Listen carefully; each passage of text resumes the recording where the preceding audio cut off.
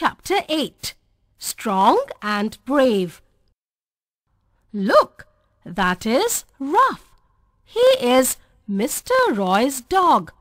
He is strong and brave. That is an ice cream cart. It is Bholu's cart. There is ice cream in it. The ice cream is cold. Here is a bunch of grapes. They are sweet. Daya is a cobbler. This is his shop.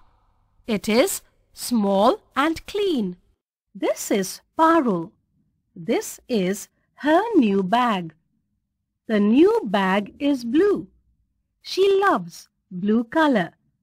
Parul likes her new bag. Hema is short. Her brother Raj is tall. Annie is Hema's friend. She has brown hair and black eyes. This is Mr. Sunny. He is bright and yellow. He has a big smile. This is Mrs. Puri's garden.